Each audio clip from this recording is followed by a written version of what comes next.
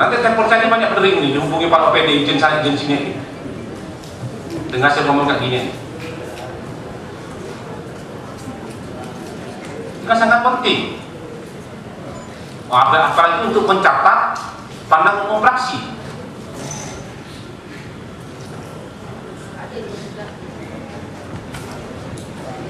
Nanti pandang umum fraksi jawabannya saya tidak konfirmatif ya, Pak Wakil Pak Sekda sampaikan ke Pak Wali. Kalau normatif, saya bubarkan rapat paripurna DPRD.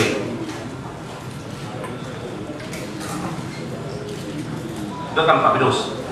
Ketua DPRD Kota Pontianak Satarudin benar-benar merasa kecewa atas ketidakhadiran sejumlah kepala OPD dalam rapat paripurna beragendakan pandangan umum praksi-praksi. Kegeramannya itu lantas dia ungkapkan sebelum rapat paripurna dimulai. Menurut Satarudin, kehadiran kepala OPD penting karena yang dibahas langsung berkenaan dengan kinerja dinas terkait sebagai upaya dan langkah meningkatkan PAD Kota Pontianak. Satarudin beranggapan bahwa ketidakhadiran kepala OPD adalah bentuk ketidakseriusan serta menggambarkan kinerja yang kurang optimal. Bahkan lebih mirisnya lagi, Satar mengatakan bahwa ketidakhadiran kepala OPD kerap terjadi bila yang datang ke paripurna bukanlah wali kota Pontianak. Satarudin pun mewanti-wanti agar kepala OPD yang jarang datang untuk diganti, sebab hal ini menunjukkan ketidakseriusan serta tidak mempunyai disiplin yang baik. Kejadian ya, hasil wakil datang kepala OPD-nya malas-malas datang.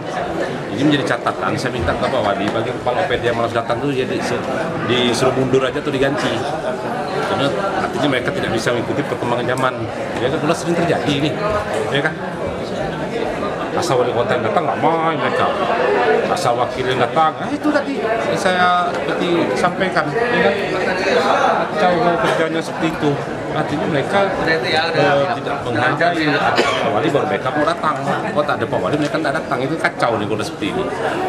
Paripurna beragendakan pandangan umum praksi-praksi ini terus berlanjut, yang dihadiri Wakil Wali Kota Pontianak dan Sekda. Satar menegaskan nantinya pada pidato jawaban Wali Kota Pontianak pada Jumat nanti tak ada jawaban yang normatif. Maulid Pon TV memberi tekan.